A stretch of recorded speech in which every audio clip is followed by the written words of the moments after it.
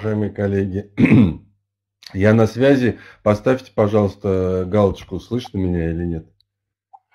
Отлично, значит, слышно.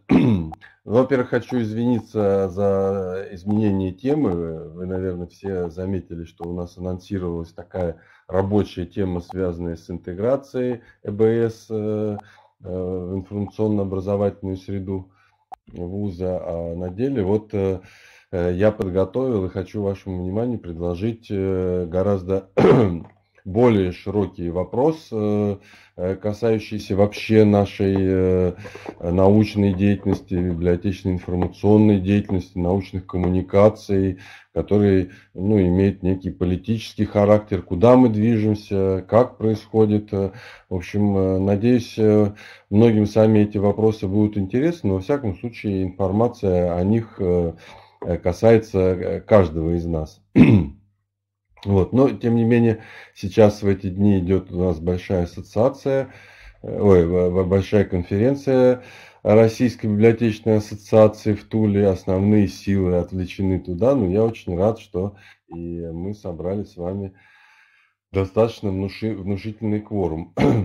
Ну а в своем э, вебинаре сегодняшнем я хотел бы прежде всего порассуждать э, о структуре нашей вот научной жизни в качестве ученых, преподавателей и то, как это отражается в, вообще в такой более широкой социальной структуре, трендов, процессах, которые происходят в мире в первую очередь в связи с э, цифровой революцией, с значительными технологическими изменениями, которые мы переживаем. Мы с вами переживаем, как известно, уже пережили цифровую революцию, но э, социологи говорят, что последствия любой революции, они э, разворачиваются в течение не менее 100 лет, пока вот все-все вот эти вот новации не дойдут до самых до самого дна, что называется, не, не будут пронизывать всю, всю жизнь. Так происходит и сегодня. Вот нам уже социологи объявили о том, что э, грядет э, четвертая промышленная, индустриальная, ну, тоже или революция, эпоха, по сути дела, в которой, э, содержание которой э, внедрение вот этих всех, всех цифровых факторов, data, автоматизация, роботизация, работа с данными, умный интернет и так далее. Все это просто те же самые вещи, которые были открыты вот пришли в нашу жизнь в 90-х годах, а сейчас они уже добрались до вещей, это называется интернет вещей и так далее. Э, и ну, я бы хотел обратить внимание на то, что каждая тех, технология вообще меняет структуру, состав материальной э, культуры и наших э, социальных отношений. Да, в принципе, не так много нового появилось э, вместе с цифровой революцией по сравнению с тем, что было в индустриальной. Да? Самолеты также летают, поезда также ездят. Э, э, тем не менее, вот ключевые факторы это какие? Компьютеры, они принесли некую автоматизацию производственных процессов, более качественную, глубокую. Это мобильные телефоны, они принесли оперативную коммуникацию, это экранные устройства, они изменили досуг и э, СМИ у нас, но тем не менее и телефоны, и э, телевизоры, все это у нас было. А вот что принципиально не было, то это цифровой код, новый язык, на котором заговорили все эти э, наши коммуникации, который привел к взрывному росту информационных потоков и интернету как ну, новому средоточию вот этих информационных потоков. Вторая вещь, которую мы э, должны с вами заметить, это базы данных. Э, тоже э, штука, которая посредством компьютера и всех этих вещей находится практически в сердце любой информационной системы. А база данных это матричная структура хранения, управления информацией, такая регулярная, ну, которые делают удобно, ну, собственно, и производят вот эти все эффекты информационные, с которыми мы сегодня имеем дело. Удобство поиска, оперативность, огромная память и так далее.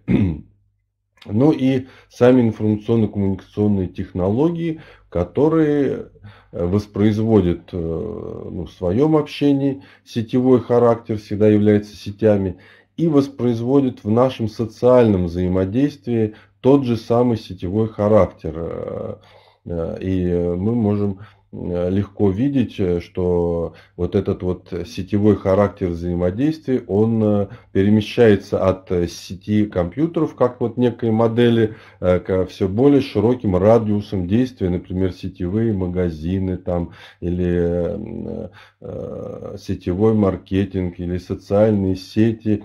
И, по сути дела, мы не задумываемся, но вот это расширение вот этой сетевой модели, сетевой структуры, оно и порождает понятие сетевого общества. Общества, являющегося проекцией сетевых форм управления. Вот. Это надо все время подмечать, и, собственно, наша сегодняшняя тема как раз о том, чтобы э, увидеть воздействие этого подхода в, наших, в нашей науке, э, в научных коммуникациях. Ну, а как пример, насколько мощная эта сила и как она все преображает, это финансовая сфера. Да? Вы видите, насколько вот э, банковская э, сегмент преобразился и действительно э, дошел до каждого. А банки это и финансовая сфера, это кровеносная система экономики. Это говорит о том, что ну, все-таки достаточно динамично и быстро меняется вообще порядок управления, менеджмент нашего общества. И причем во многих э, вещах. Вот. Мы это часто очень не замечаем, но многие институты нашего общества работают сегодня иначе, чем э, работали в предшествующие поколения. И это касается и научной коммуникации. И вот я обратил ваше внимание на базы данных как вот такой э, интересный феномен и как он э, проявил себя э, в нашем научном управлении, научной политике, научной деятельности. Э, вспомним, ну, речь будет идти в первую очередь о реферативных базах данных и их значениях Web of Science и Scopus. Вот. И напомню вам историю, как это продолжалось, как возникало. Э, впервые в 1955 году, то есть э, скоро после окончания войны, американец Евгений Гарфилд э, опубликовал статью Citation Indexes for Science and New Dimensions of Documentation, ну и так далее, в котором озвучил идею индекса цитирования для науки в журнале Science. Он стал дальнейшим руководителем вот, на основе этой идеи Института с э, научной информацией э, и основал так называемый Journal Citation Report, который э, стал вычислять и ранжировать журналы по импакт-фактору. Ну а в статьях своих вот этих первых основ, основная его идея касалось э, создания как раз э, э, научного индекса цитирования как базы данных, опирающейся на импакт-фактор, то есть частотность цитирования статей журнала и сравнение их между собой. И вот в развитии этой идеи уже в 1972 году другая известная его статья и, анализ цитирований как э, инструмент оценки журналов. Он, в частности, обратил на такой, уже по, по результатам э, своей работы, своей базы, э, на такой феномен, что всего на 1% журналов приходится 25% ссылок. И вот так вот по, по восходящей. А и почти все, вся ссылочная масса, то есть 85% приходится всего на 2000 журналов. Но я это не, не иллюстрирую, детально это, в это все не вхожу. вот, важно, какой вывод из этого делать. Да? Гарфилд сам сделал этот вывод, что для научной коммуникации ключевым значением обладает 500, ну от силы тысячи журналов который и забирает основную массу научных коммуникаций и действительно является таким инструментом распространения. Остальные журналы э, ну, являются маргинальным э, фактором и практически не порождают реальной научной коммуникации. Вот эти вот, э, вот это группа журналов с высоким импакт-фактором составила ядро его базы Web of Science Core Collection. Э, сегодня это э, ядро уже вообще разбивается на квартели в зависимости вот от своего веса и влияния. Ну, те, кто знаком с, с темой, это все знают. Вот. Ну и э, вот этот Journal Citation Report э, ведется э, тоже практически с 60-х годов в бумажной форме. И уже тогда, в прошлом веке, приобрел довольно весомый вид. Вот. Тем не менее, это был обычный рейтинг, и таких было несколько он выходил в бумажном виде. И вот э, заметим момент, э, в 1980 году база стала выходить на компакт-дисках, то есть в цифровом виде. И в 1997 году она была трансформирована уже в веб-базу данных интернет, Web of Knowledge, которая э, развивается и до наших дней уже под в компании Clarity Analytics насчитывает сегодня около 16 тысяч журналов, 900 миллионов записей. Э, и ее вклад, э, конечно, колоссальный вообще в наше понимание развития науки. А произошло это вот за счет именно формата базовых данных, который позволил стандартизировать формат научной статьи до совершенно простого пакета метаданных э, и привел вот весь поток разнообразный разных авторов разных странах, по сути дела, в один вид, что и позволяет его отлично считать, регистрировать, управлять, э, просчитывать, э, ну, превращать э, в инструмент институционального управления. В частности, очень хорошо отслеживать статистику. И вот эти вот свойства базы данных статей, они, конечно, уникальны и очень, так скажем, полезны для маркетинга научной деятельности. Вот, с 2004 года возник, возник э, параллельный альтернативный проект э, реферативной базы данных Scopus. Сегодня она включает 24 тысячи журналов, немножко на других принципах построена, но в целом э, тот же принцип и то же самое ядро.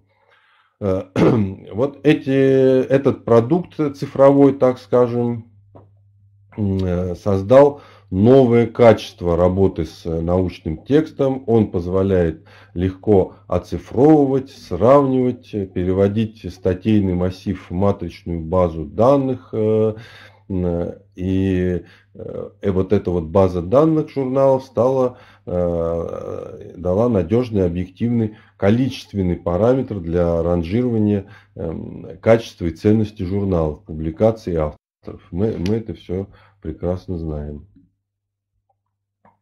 Э, и э, вот после перехода в веб-формат, э, по мере роста авторитета этих баз, по мере покрытия всех научных областей, Э, присутствие или отсутствие в этих базах, вы все хорошо знаете, стало ключевым критерием вообще научной эффективности. Э, как говорил Цукерберг, если ты не в Фейсбуке, значит тебя не существует. Вот для ученого, если ты не в этих базах, то ты тоже не ученый. И хотя критика ограниченности этого метода существовала с самого начала этого Journal Report и, и обсуждалась, признавалась самим Гарфилдом, тем не менее, уже игнорируя, несмотря на все это, во многих странах показатели Web of Science стали служить основанием для признания ученых, для выделения грантов, для принятия управленческих решений. Вот это вот качественный переход простого журнального бумажного списка, так скажем, да, в полноценную базу данных, которой поклоняются все. Это один, одно направление, да, вы все знаете, насколько важно, особенно в научных университетах, публикации в журналах Web of Science и Scopus. А другой направление проявления вот важности этих э, рейтингов.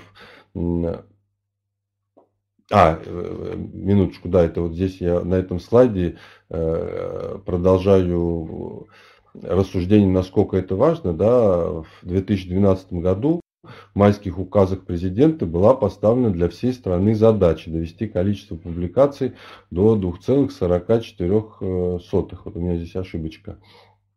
Вот. Э, дело в том, что после Советского Союза этот показатель стал резко падать. В 2000-х годах был очень низкий.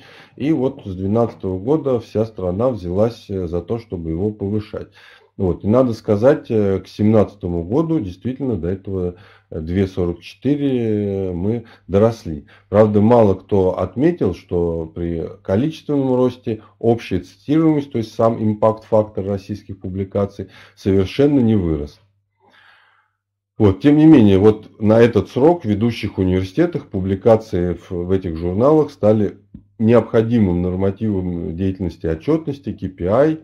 И, конечно, это сопровождалось материальным стимулированием, причем в некоторых ведущих вузов э, вознаграждение за подобные публикации вот в длинном периоде составляло миллионы, даже несколько миллионов. Вот это одно э, проявление, разумеется, это стимул э, более чем мощный да, для любого человека. Вот. С другой стороны, вот э, это э, движение породило массу абсолютно нулевых э, ненужных публикаций, для которых сразу нашлась упаковка в виде мусорных журналов, и вот возник такой поток с научной ценностью близкой к нулевой. Вот, вот так вот посредством базы данных э, журнальных статей возникла огромная мотивация, огромное движение об их, э, к написанию их в огромных количествах. В то же время гонорары за публикации монографии или, например, учебника в условиях современного падающего рынка сегодня практически исчезли. И э, если сравнить, сколько можно получить за одну статью и за одну книгу, то польза в сторону статьи может составлять десятки раз материальная польза. Так, это вот э, первое направление, как проявили себя вот эти базы данных. А второе это э, работа по повышению конкурентоспособности и статуса российских университетов международных рейтингах.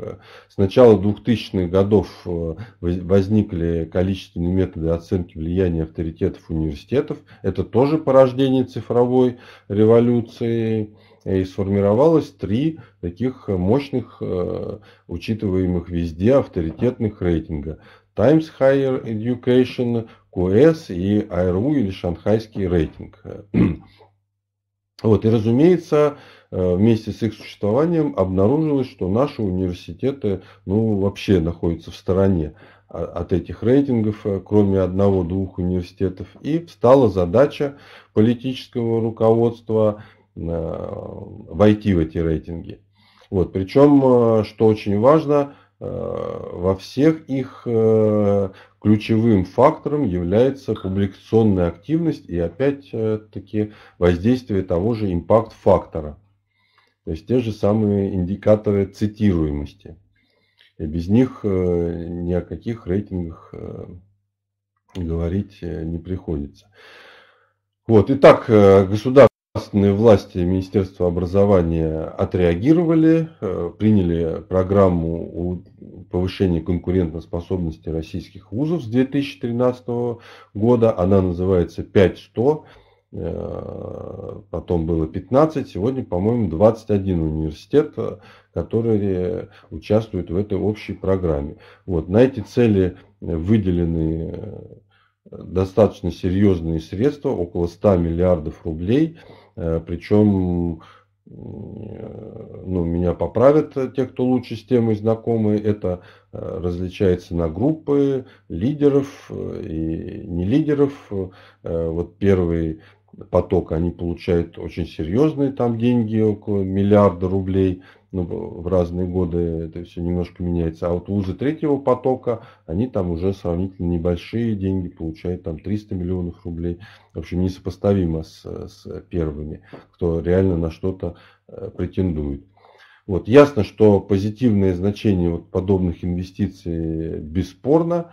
Э, вот, в то же время мы уже приближаемся к 2020 году и э, тоже понятно, что практически э, ну, главное участие, а не результат. Да, по результату очень глобально небольшие изменения. Вот эти 100 в 100, по-моему, войдет только МГУ, как ни крутить. Она, по-моему, там и была или близко к этому. Но остальные по разным направлениям э, где-то там нашли.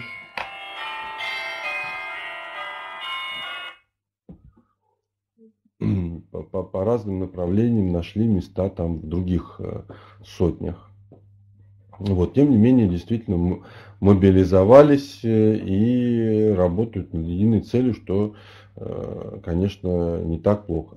Вот, тем не менее, э, вот такая вот компанейщина и количественные критерии в качестве целей очень сильно напоминает наше советское планирование. И вообще, конечно, это такая мобилизация государственной политики, это молодое явление, свойственное вот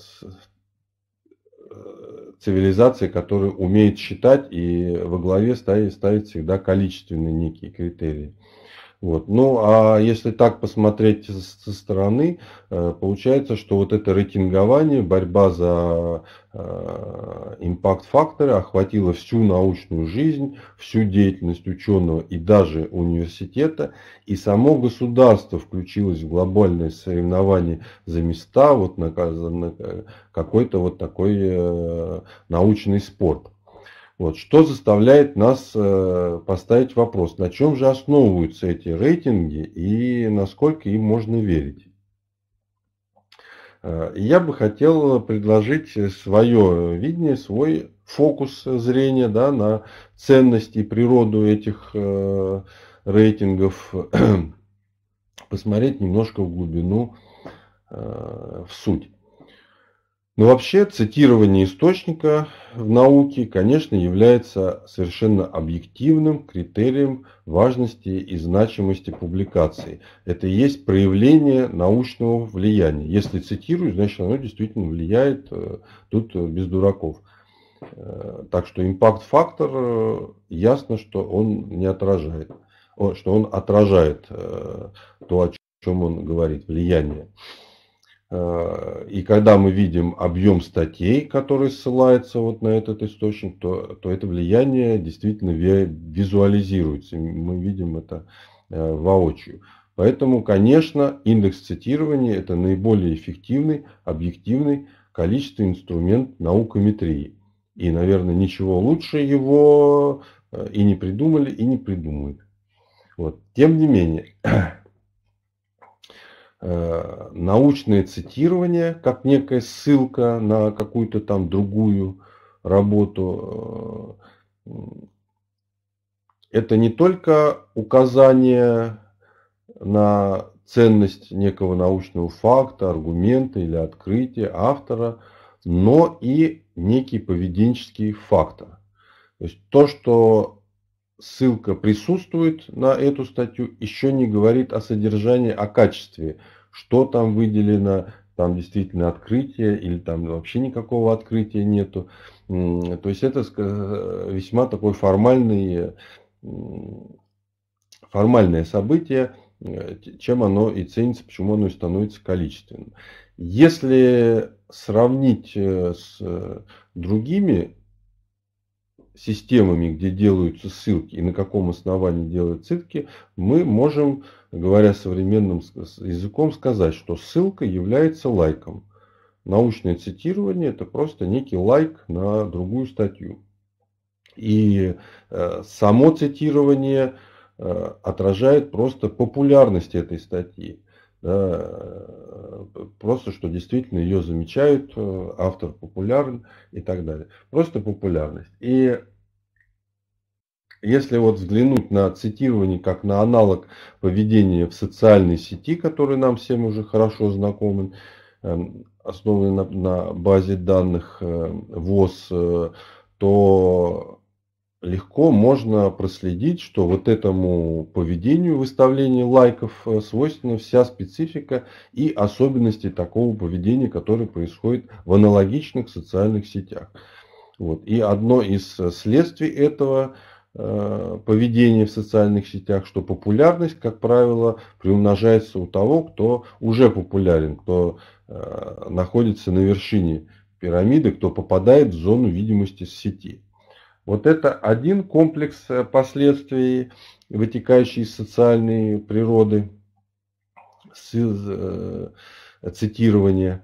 А второй, второй момент, на который хочу обратить внимание, что такое система цитирования – Э, ну, у нас существует статья, да, и существуют э, к ней ссылочки, которые отсылают, и в идеале мы можем перейти на эту ссылочку и прочитать э, сразу полностью другой текст статьи. Вот эта структура называется в науке гипертекстом. Текст, который в сжатом виде Э, включает в себя гораздо более широкий текст и может э, так э, разворачиваться. Ну, вот, в частности, мы в своей БС тоже этот сервис реализуем, чтобы по ссылке можно было не просто указать да, на нее, но прям перейти и прочитать. И тогда понятно, что статья, она объемлет какой-то очень большой мегатекст и э, просто не воспроизводит его, а указывает. Вот это вот э, понятно. Вот когда бы существовала бумага, воспроизвести гипертекст было невозможно. Э, цифровые медиа, как, это одно из их абсолютных новаций, как раз позволили воспроизвести гипертекст, э, объективировать его, соответственно, как сетевую структуру. Поэтому лучше смотреть на научный цитируемый, цитирующий текст, как вот на такую сетевую структуру. А, ну и после того, как мы э, увидели очень э, ключевые существенные свойства и сетевой, э, сетевые свойства как сетевой системы, и поведенческие свойства как жизни в социальной сети, то э, мы можем легко увидеть и последствия, которые из этого вытекают. То есть сеть по своему закону распространения работает как э, пирамидальная система. Это все время некая пирамида. Э, и в ней продвигается и приоритет имеет кто, тот, кто, как я сказал, выше. Да? Каждый, кто прочитал статью, он воспринял ссылочную структуру статьи, то есть он вот э, ознакомился с этой сетью, э, с теми людьми, которые там цитируют, условно, условно говоря. Вот. И, соответственно, э, по пирамидальному распространению преимущество получает тот, кто раньше вошел в эту систему. Ну, например, если вас процитировал гуру темы, то ваша популярность, конечно, сильно прирастает. Да? Если вас процитировал э, кто-то там совершенно неизвестно, ну, примерно так оно и останется. Вот. В общем, закон Законы пирамид и сетей вот здесь э, прочитываются э, очень открыто. Хотя существует много ограничений, лимит и э, научная сеть как бы борется с какими-то негативными проявлениями вот своей сетевой природы. Вот вообще сетевая природа научных влияний и развития научных школ это уже известное, изученное явление, не впервые возникшее. Просто опять-таки именно сегодня в цифровой среде это интеграция и взаимодействие научных школ гораздо оно перешло на новый качественный уровень. Э, ну вот, э, собственно, это нам надо было уяснить, что система отслеживания цитирования является сетевой системой со своей спецификой и со, своей, со своими а, ограничениями. И положение в индексе и рейтингах цитирования обусловлено в том числе местом в сетевой парадигме, э, пирамиде. То есть зиждется на факторе сетевой популярности. И это, в общем-то, основное, но основной вот этот вот а, отравляющий фактор э, вот этой прекрасной истории. И в основном отсюда и проистекает критика индекса цитирования, которая, в общем, общеизвестна. Вот вообще сам Гарфилд постоянно там уже занимался и защищался, э, и открывал вот эти все ограничения, которые порождает его индекс. Вот в частности, он отмечал проблемы с цитированием э, не латинских языков, таких как кириллица, что это там колоссальные сложности и, конечно же, понижает общий рейтинг даже тогда. А наиболее такое неприятное, яркое проявление индекса как социальной сети – это манипулирование этими показателями. То есть возможность нагонять количество цитирований, э, самоцитирование использовать, э, друг другу там нагонять. В общем, очень много возможностей манипулирования, как возникает всегда в любых формальных условиях, где есть возможность вот эти вот формальные элементы имитировать. И все такие системы, они борются с их злоупотреблениями. Ну, как вот издатели с пиратами или плагиат с теми, кто обходит э, плагиат. И также вот эти, эти э, базы данных цитирования, они постоянно э, отслеживают вот эти вот инструменты манипулирования, пытаются от них защититься, дифференцироваться и так далее. Тем не менее, вот с того момента, когда база данных стала такой мега базой вовлекла в свое развитие весь научный мир. Она превратилась из инструмента библиометрии э, в настоящее страновое соревнование и в основу принятия управленческих решений в науке. Вот с этого момента э, природа ее изменилась. Одно дело, когда это просто инструмент э, наукометрии, да, с другой стороны, когда это источник принятия финансовых и других управленческих решений. И, разумеется, вот тогда уже перекосы эти стали восприниматься очень остро. И, в частности, возникло даже такое движение в мае 2013 году. Учеными, учеными была принята так называемая Сан-Франциско Declaration on Research Assessment, называется DORA, которая направлена э, против э, этих э, Э, индексов цитирования, э, собирая аргументацию и подписи э, против. Да, под ними уже подписались сотни тысяч ученых, тысячи научных организаций. В общем, возникло такое широкомасштабное протестное движение против вот такого состоянии науки.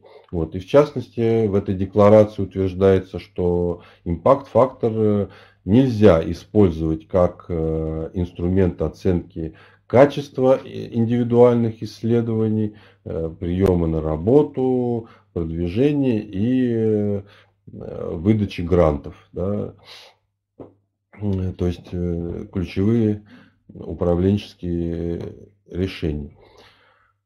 Вот. Э, Но ну, это, собственно, естественная реакция. Э, суть научной эффективности все-таки не публик... лежит не в публикации, а в качестве в исследований и научных открытий. И э, публикация является лишь косвенной мерой э, вот, оценки этого качества. Получилось наоборот, что она из средства превратилась в цель. И э, в итоге мы не исследованием занимаемся, а думаем, как бы нам что-то опубликовать об исследованиях. Вот в этом, собственно, и кризис э, вот этой переоценки пузыря, пузыря научных цитирований. И в итоге э, научная эффективность снова не оценивается как надо, а последствия, которые вот это состояние ведет, ведет к кризису научных коммуникаций.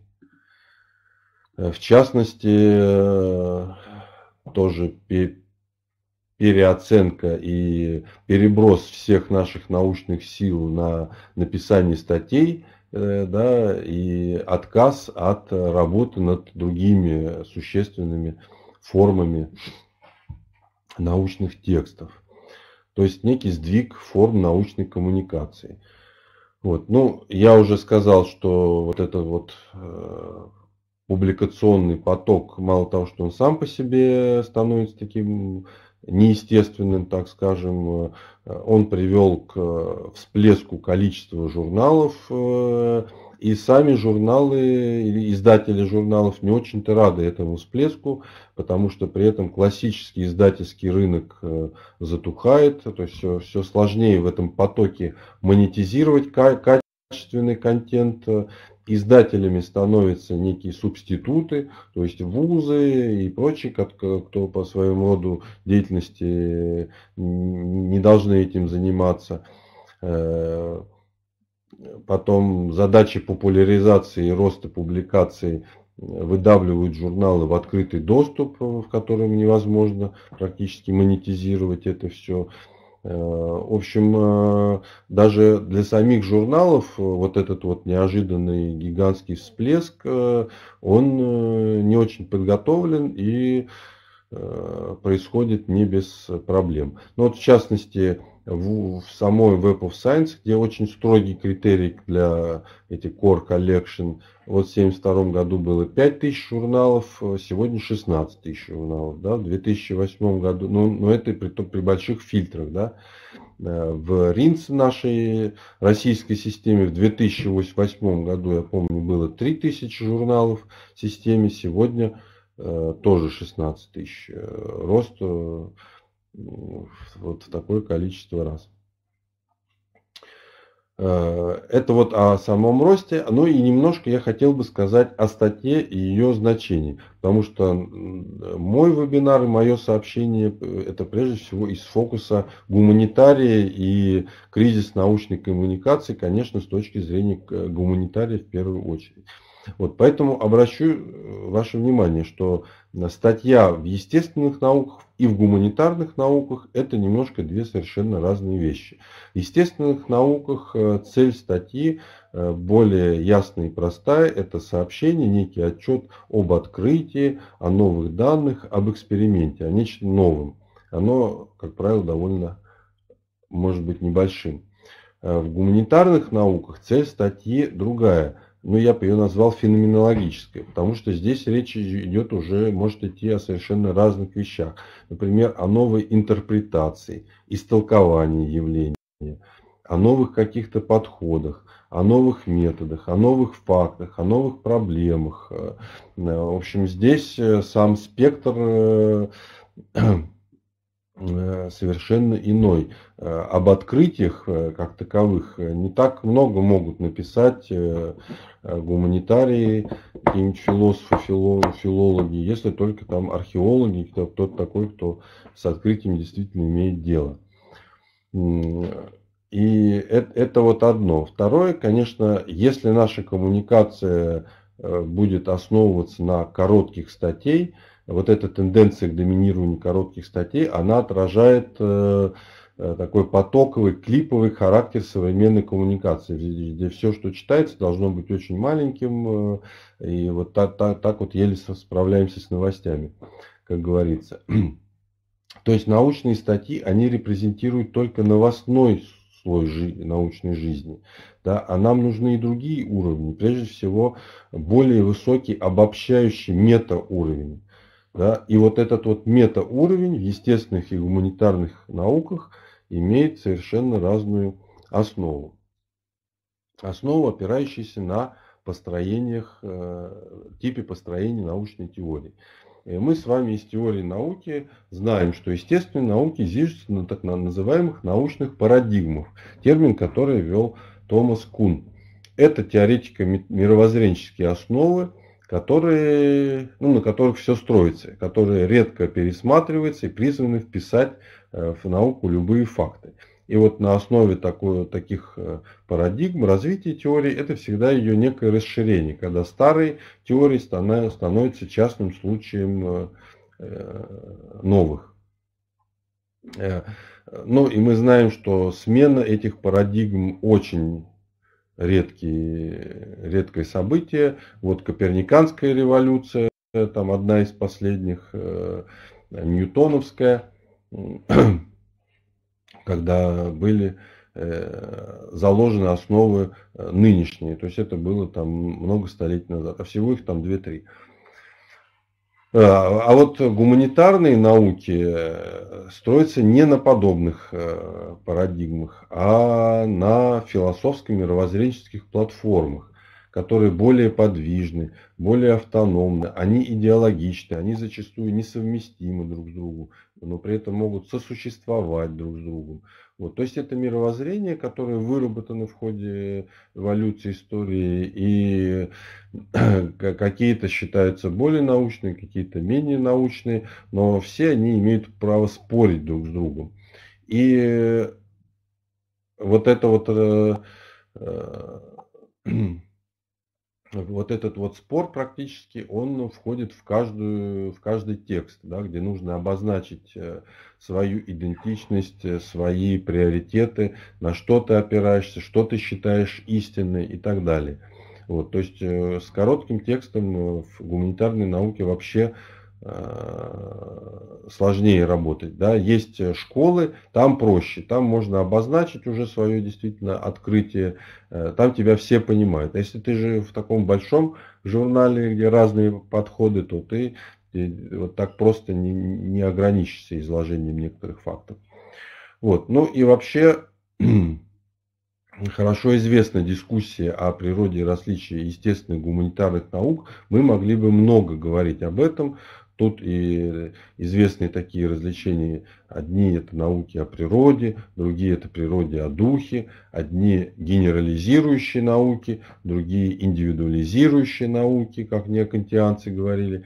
Одни науки понимающие, другие объясняющие э, различия науки, идеологии, различия социальной науки от естественной. В общем, э, это огромный пласт, э, собственно, научной дискуссии – и мы должны э, только помнить, что он имеет право э, быть. Вот. Разумеется, на сегодня два подхода существуют. Э, так скажем, естественники, как правило, отстаивают позицию о том, что природа наук едина, но очень много философов и ученых настаивают о принципиальной различии социально-гуманитарных и естественных наук, вплоть до тезиса о методологическом анархизме, что вообще любая методология имеет право на существование. вот. Очевидно, Одно, что я хочу подчеркнуть, то, что гуманитарные и социальные науки транслируют иные образовательные задачи, иной характер знаний и, соответственно, иной порядок научной коммуникации. И поэтому статья и монография играют в них различную роль. Ну и вот теперь я хотел бы замолвить слово о нашей бедной монографии, которая действительно худеет и, и, и худеет. И можно ли от нее отказаться? Вот. Ну, мы с вами знаем, монография – это издание, излагающее взгляды на предмет или проблему в систематизированном виде. И в отличие от статьи, монография, как правило, выходит за пределы одного исследования. Она или интегрирует комплекс исследований, или в контексте вот совершенно разных э, исследований дисциплин э, излагает свой предмет – и при этом несет несколько существенных функций. Ну, во-первых, это детальное и максимальное полное исследование предметов. Э, во-вторых, это систематизация обобщения имеющих, всех имеющихся знаний вот по данному вопросу. Это задача интеграции нового знания в э, существующий научный корпус. Это задача выстраивать проблему в дисциплину, в новую ветвь знания – как бы вот завершать вот этот исследовательский процесс. Э. И, наконец, монография часто определяет собой особый методологический подход ну, или представляет собой особую школу. Вот, то есть задачи ставятся более амбициозные, серьезные, глубокие, чем в отдельно взятой статье. Я бы сказал, что монография представляет собой некую промежуточную форму Э, между статьей и учебникам, где это уже в учебнике становится не фактором исследования и э, отстаивания истин, а уже как э, э, принятым, само собой, разумеющимся фактом, на который просто можно сослаться. Вот. Но ясно одно, что монография является полноценным исследованием, абсолютно необходимой формой научного творчества. Причем как для естественных, так и для гуманитарных наук. Но в естественных науках потребность в ней реже, потому что, в первую очередь, я сказал, что уже существует платформа некая, и все, что не делается, это просто некие надстройки в виде открытий, э, дополнений и так далее. А вот э, для гуманитарных наук монография является более важной формой, чем статьей, и часто вообще сущностью гуманитарного исследования.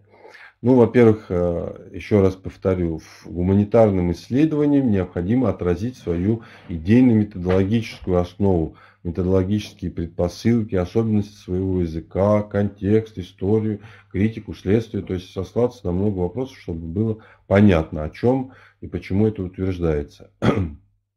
Во-вторых, э, монография входит всегда как бы в коммуникативную природу гуманитарных наук. Это всегда некий голос, всегда некая часть общей научной дискуссии. Нет вот просто так, которая как кирпич положили. Она всегда на что-то ссылается, с кем-то полемизирует. Вот. Э, дальше изложение гуманитарных вопросов, э, как я уже сказал, требует больше текста. Там, где надо истолковать, интерпретировать, э, объяснить, понимать, э, ну, просто требуется больше объяснять человеческим языком. Разные термины, да, всегда требуется их заново практически определять. В общем, нет такой четкости и ясности, как в естественных науках. И э, немаловажно, монография более четко отражает лицо, зрелость, научный капитал автора, чем статья. И для репутации, э, конечно, монография является более ценной, чем статья. Она говорит сразу достаточно много. Вот. вот из этих и других соображений тоже не случайно, что даже индексы цитирования, которые пытаются охватить книги, например, Book Index Citation, Of Science, они тоже отдают предпочтение социально-гуманитарным монографиям. Вот. И тем не менее, несмотря на эту важность, происходит угасание монографии. И угасание сжимания рынка и э, уменьшение производства монографии. Авторы ими занимаются меньше. Но это и понятно э, вот ввиду тех э, смены приоритетов. И тут еще есть несколько важных таких обстоятельств этого процесса. Э, первое в том, что специфика монографии как раз заключается в дифференциации. Наука развивается, дифференцируясь. И для монографии, чем более узкая тема, тем выше ценность монографии. Э, но тем и меньше аудитория, тем меньше вот все, все вытекающее из этой штучности товара. Вот. Второй момент. Монография при этом является издательским продуктом. И, соответственно, она должна быть ориентирована на признание, тираж, в конце концов, продажи. Э, а вот как научное исследование, она никак не ориентирована на популярность и продажи. Э, она ориентирована на узкий экспертный круг. И вот это вот ставит ее в сложное предложение. Она перестает быть коммерческим продуктом для издателя и исчезает как рынок постепенно. В то же время для открытого доступа, не рыночного, э, монография это слишком дорогой ценный продукт. Над ним, как правило, надо работать несколько лет ученым. И поэтому монографии не поступают в открытый доступ, хотя э, как некий ручеек, как отдельный случай такое есть. В общем, монография зависает между книжным рынком и свободным доступом. Издатели ее не берут, а вузы ее не покупают. Вот это такое сегодня проблемное срединное такое положение, в котором монография никому не нужна. Дальше, что вытекает из всего этого монографии, вместе с потерей тиражности превращается в продукт авторской редакции. То есть, конечно, издатель в нее уже не инвестирует столько труда, потому что не отобьет. И это, разумеется, понижает ее научное и литературное качество. То есть полностью книжка это вот практически все, э, над ней работает только сам автор. Э, второй момент, э, даже ну, а то, что издается, сейчас очень большая часть монографий издается или на средства автора, или посредством грантов. Вот, грантов мало, авторских средств недостаточно. И, разумеется, все это недостаточно для питания монографического потока. Поэтому журнальные публикации растут, монографические падают. Ну и ключевой, конечно, фактор – это политика стимулирования журнальных публикаций, э, о которых я уже сказал, со стороны министерства. И это, разумеется, ведет к деградации монографии как жанра в пользу написания статей. Еще что очень важно, что монографии и учебники цитируются мало, вообще они иначе цитируются.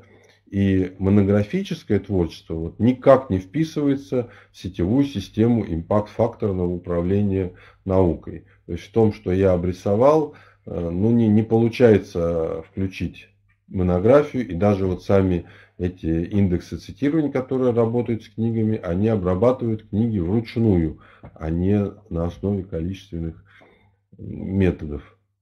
Вот, в итоге получается, что монографии никак не влияют на систему оценки научных эффективностей, на KPI, и писать монографии невыгодно и нерационально. Вот. Ну и еще есть такие обстоятельства, что акцент на зарубежные ресурсы в ведущих университетах сегодня подрывают экономику отечественных ресурсов, а именно там они обслуживают монографии. Э, на, на зарубежные ресурсы тратится значительно больше средств, э, чем на, общественные, на отечественные. Вот в частности, э, Академия наук с 2016 года не получает средства на отечественную подписку. Вот. Ну и, наконец, если учебники еще широко востребованы в университетском процессе, то монография практически нет. В университетском образовательном процессе практически не используется. Вот. Это, кстати, некий второй перекос в российской системе научной коммуникации в пользу, в приоритет учебников в ущерб монографиям. Ну и вот на этом слайде э, мы уже приближаемся к концу. Я э, озвучил э, тезисы манифеста гуманитария, что нужно и как видит гуманитарий возможность исправить ситуацию, во всяком случае четко обозначить, что важно и не важно.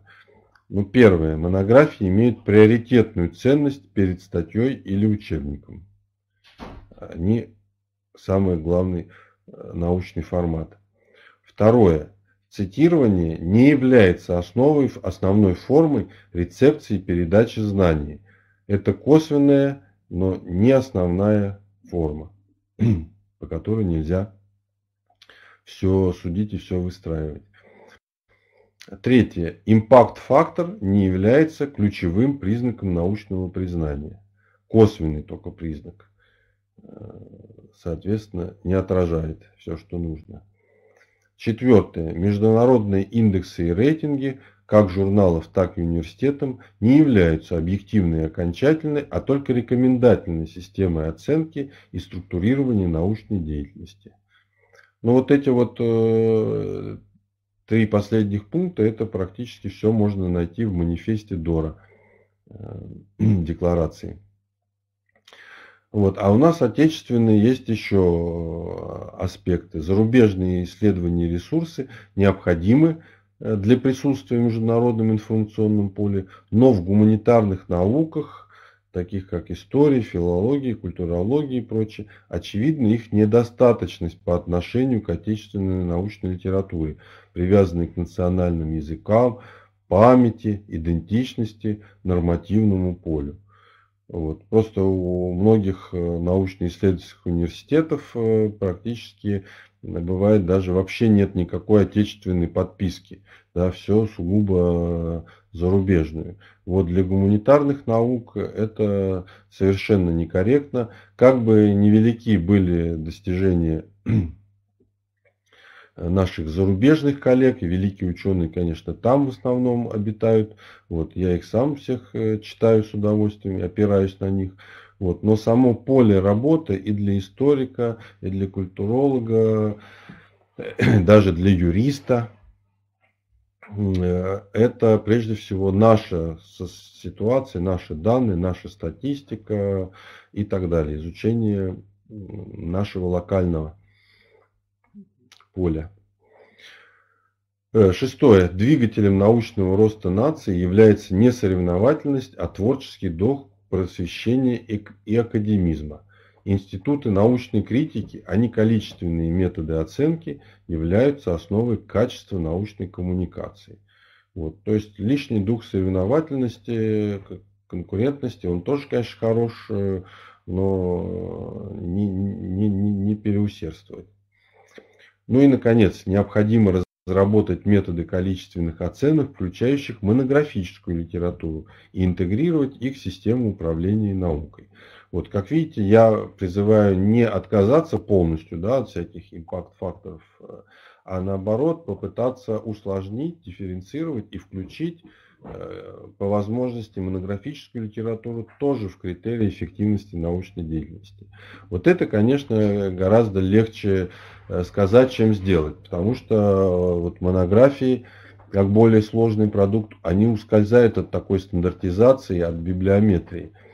Это очень сложно. Но, возможно, вот вместе с нашими данными, там, четвертый индустриальный и так далее. Э, что здесь может быть сделано?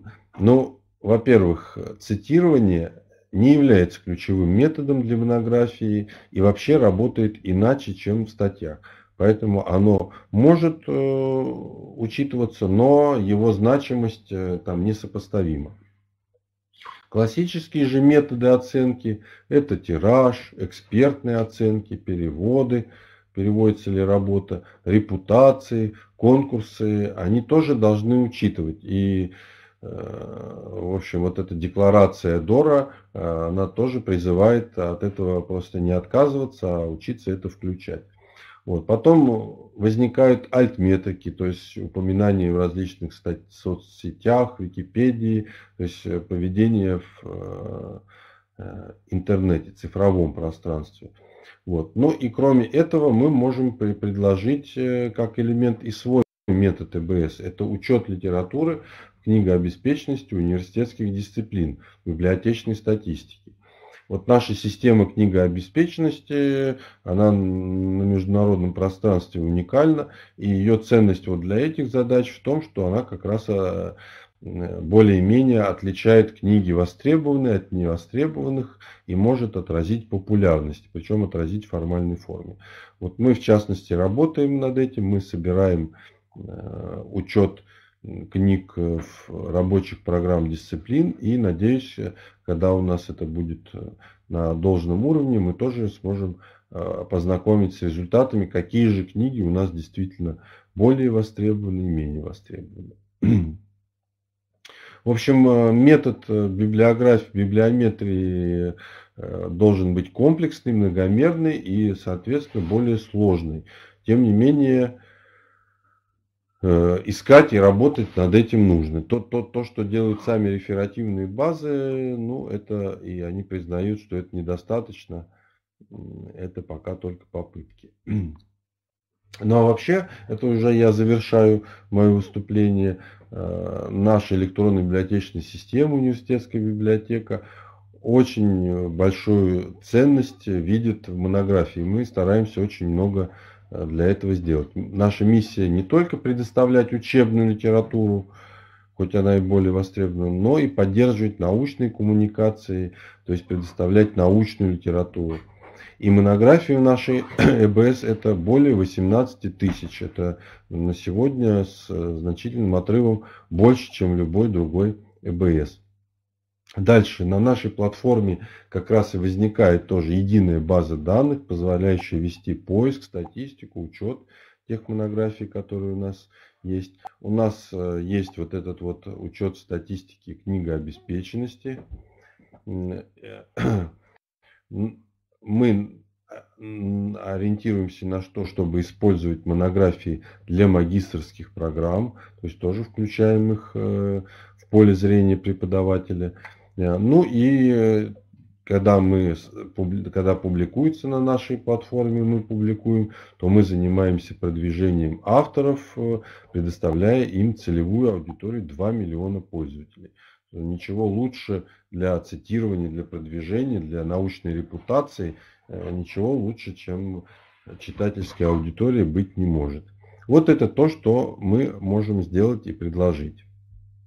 Но кроме этого, э, многие знают, что у нас есть э, специальная платформа научных монографий, называется Библиопланет. Она содержит не только актуальные, но и классические монографии, различные предметные коллекции, Э, не содержит учебники и по принципу ничего лишнего. То есть это простая такая база монографий, соответственно, по цене она совершенно по-другому стоит э, намного дешевле, чем э, университетская библиотека онлайн с учебниками. Вот. А этим летом, если все получится, мы планируем запустить сервис монографий. То есть это уже база данных, в которой присутствуют все монографии, выпускаемые в нашей стране. Вот это, если все получится, позволит осуществить мониторинг этой ветки научных коммуникаций, использовать для научной работы и вот уже иметь что-то подобное тому, что имеется для журналов. Но это наши планы. Вот. А, на, а сегодня для стимулирования э, монографической активности мы проводим конкурс «Фундамент науки» на лучшую монографию. И всех приглашаем принять участие, проинформировать э, э, свои университеты, своих преподавателей. До 1 сентября проводится этот конкурс совместно с Академией наук, э, с Библиотекой естественных наук РАН. Принимаем по всем университетским специальностям. Ну, условия участия в конкурсе можно прочитать на нашем сайте в общем, победители будут награждены денежными призами и э, будут лучшие работы будут отправлены на индексацию в базы данных Web of Science и Scopus, о которой мы говорили. Монографический. Вот, точно так же у нас уже сейчас идет э, конкурс на лучшую ВКР дипломную работу Бифест ежегодный. Тоже просим Э, все библиотеки проинформировать э, свои кафедры, пригласить к участию научных руководителей и студентов. Вот. Ну, а так,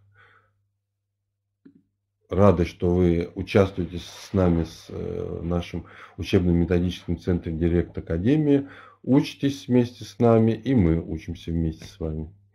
Вот, собственно, то, что я хотел сказать, э, ну, подводя итог э, как бы от того, с чего начал. А начал я с сетевого общества и с особенностями, особенностей сетевых коммуникаций, которые меняют нашу всю практику.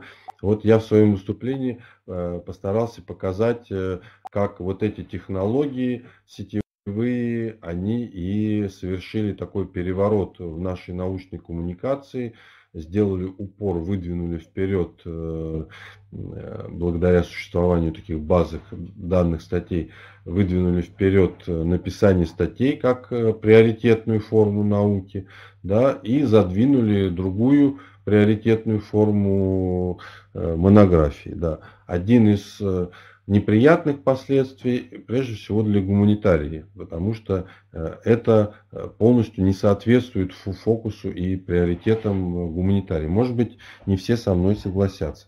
Вот. Тем не менее, мы об этом э, говорим, и, соответственно, я думаю, что когда-то и будем менять вот эту вот практику. Так, ну а теперь вопросы.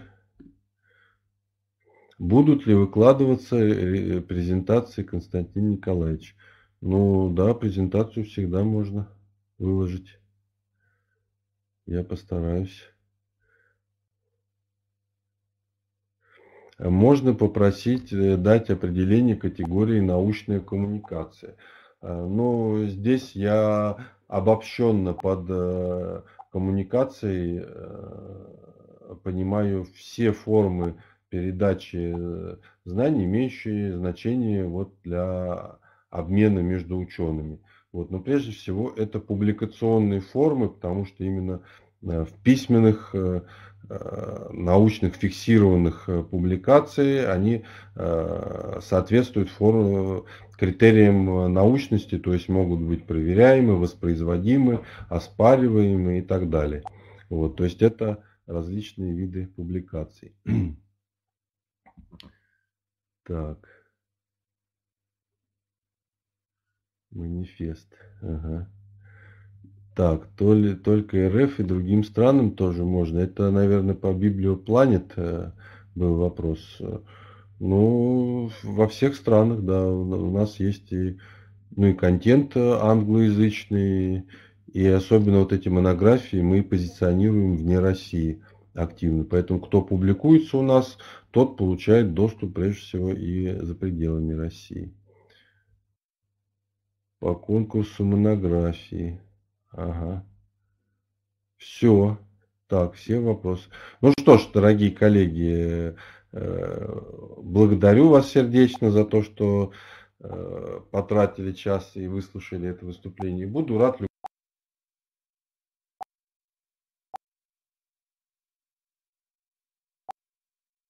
уважаемые коллеги, давайте поблагодарим а, Константина Николаевича за замечательный вебинар.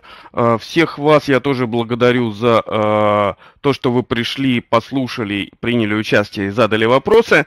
Напоминаю, что Директ Академии – это вебинар каждый день. Приходите к нам каждый день в 12 часов. Мы постараемся подобрать для вас самых интересных э, спикеров. Всего